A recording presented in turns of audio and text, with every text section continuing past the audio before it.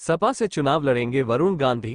सुनकर चौंक गए ना, वैसे इस खबर को सुनकर हर कोई ऐसे ही चौंक रहा है। दरअसल सोशल मीडिया पर एक लिस्ट वायरल हो रही है जिसमें बीजेपी नेता वरुण गांधी के समाजवादी पार्टी की टिकट पर पीलीभीत से चुनाव लड़ने की बात कही जा रही है।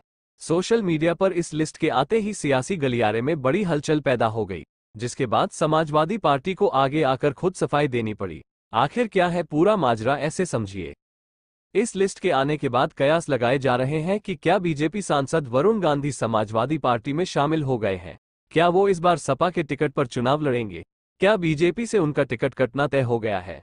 आखिर इस दावे की सच्चाई क्या है? तो इसका जवाब अब खुद समाजवादी पार्टी की ओर से आया है। सोशल मीडिया पर वरुण गांधी को सपा का टिकट दिए जाने के दावे पर सपा का बयान आया है। समाजवादी पार्टी ने ऐसी किसी भी लिस्ट के आने से इनकार किया है। पार्टी ने कहा कि सोशल मीडिया पर जो लिस्ट वायरल हो रही है, वो फर्जी है, उससे सावधान रहें। सपा ने अपने आधिकारिक सोशल मीडिया अकाउंट एक्स पर कहा, कृपया सावधान रहें। समाजवादी पार्टी के लोकसभा प्रत्याशियों की सूची पार्टी पेज पर ही प्रेषित की जाती है। जो सूची पार्टी के एक्स और फेसबुक पेज पर है, वही अधिकृत है, अन्य सभी सूचियाँ फर्जी हैं। दरअसल, वरुण गांधी अक्सर अपने पार्टी विरोधी बयानों को लेकर सुर्खियों में रहते हैं, जिसके बाद से ही चर्चा है कि बीजेपी इस बार उनका टिकट काट सकती है।